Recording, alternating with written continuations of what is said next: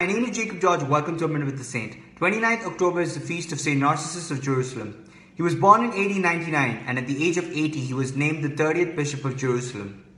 On Holy Saturday, when the deacons had forgotten to provide oil for the church lamps, he prayed over the water and turned it into oil.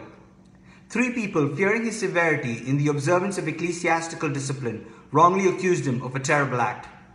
One said that if what was alleged was not true, that he might perish by fire, another that he might be struck with leprosy, and the third that he might lose his sight. Soon divine retribution came upon them. What each one had said happened to them.